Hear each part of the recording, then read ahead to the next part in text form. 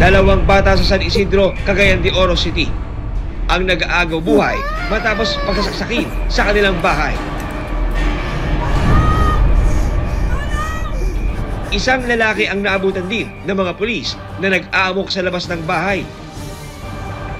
dinala na doon sa hospital ng Lumbia at yung suspect po, ah, nakita natin doon na may hawak siyang itak. Sige na, sumama ka na sa amin.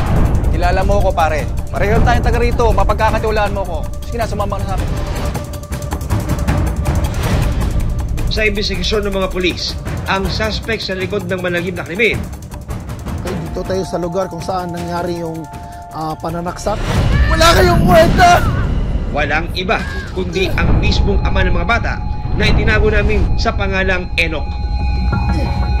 Ano ang dahilan at nagawa ni Enoch na pagsasaksakin ang kanyang mga anak? Nakausap ng Pinoy Crime Stories ang ina ng dalawang batang biktima. Itinago namin siya sa pangalang Leia. Ayon kay Leia, taong 2018, nakakilala niya sa Cagayan de Oro City ang nooy binatang si Enoch. Isang opisyal ng barangay si Enoch Sige, sige. Problema. Sige na. Kaya. Ako na dyan. Ay, hindi na kaya ko to. Sige na. Kaya ko na. Sige, ako nang bubuhat. pamumulot naman ng mga kahoy ang kinabubuhay ni Leia. Barangay ha. O sige, tol. Oh, nakita man ko niya nga naluoy sa ako nga mura ko giyagit bitaw. Mura ko na kuan.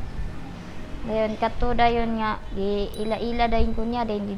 Kaya mo ba? Oo. Medyo mabigat pala. Hanggang ang pagkakaibigan nauwi sa ligawan. Kaya ko to. Ang kanilang pagsasama nagbunga ng dalawang anak na sina Michael at Geraldine. Nga kana nga bata ah, sir. Anak kong bata na ba eh ganay. Liwat man na siya ha. Tun laki na sa kuwatanan. Liwat. Enok yung mga bata ha, ikaw na bahala. Ayon kay Leia, mabait at mapagmahal na ama sa kanyang mga anak, si Enoch. Maasikaso rin sa bahay ang padre de pamilya. Gusto na siya na kadula siya tatag-tatag kwarta bitaw. Siyang puan, siyang anak, matag yang tingayo ang ang kanang anak ba eh kusog na mangayo sa mga siyang kwarta. So pa tagay ko 20. Tagay ko 20 pa. Then ang laki rin pa, tagay ko 5 pa, pat ko ice, any, pat ko skin, any, yung kindi lala na alalolo lando. Kato dayon, yay tagaan siyang papa, lagi palangga dayon. Mag-iingat ka ha. Ayon kay Leia, taong 2023 nang magdesisyon siya na mamasukan bilang isang kasambahay. Mamimiss kita. Sige na, sige na, sige na, malilate na ako. Baka kasi hindi ka na bumalik eh. Hmm, pagpapabebe yan, mamamasukan lang ako, bakit ako hindi babalik?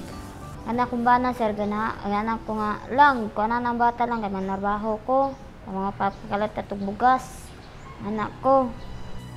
Sige, ingat ka. Yung mga bata ha? O sige. Ayon kay Leia, nung una ay maluwag sa loob na tinanggap ni Enoch ang kanyang desisyon.